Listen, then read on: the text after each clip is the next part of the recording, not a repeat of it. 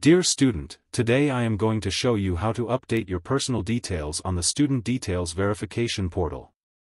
Let's start.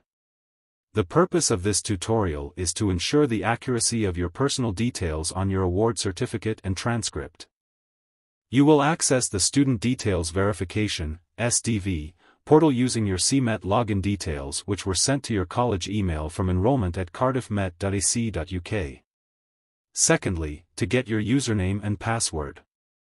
To get the username details, please log into your college email. Type enrollment in the search box and select the email received from enrollment at cardiffmet.ac.uk and copy your username and password.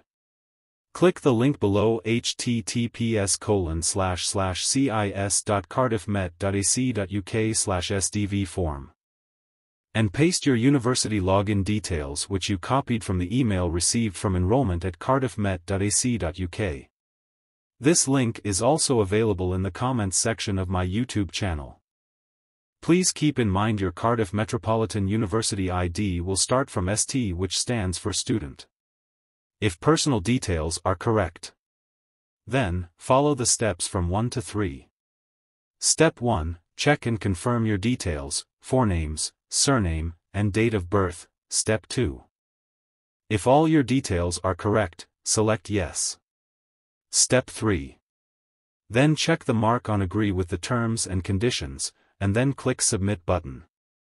If personal details are incorrect, then follow the steps from 1 to 4. Step 1, if any detail is incorrect, select No.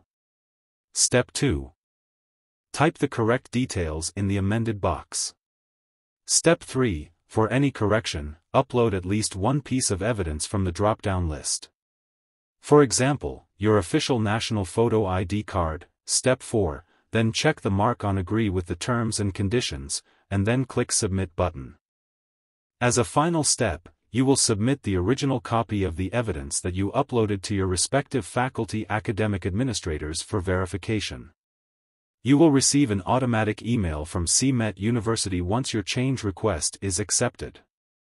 If you have trouble logging in or accessing your account, please email IT helpdesk at ithelpdesk at cardiffmet.ac.uk from your Gulf College email account, include your full name and date of birth in the email.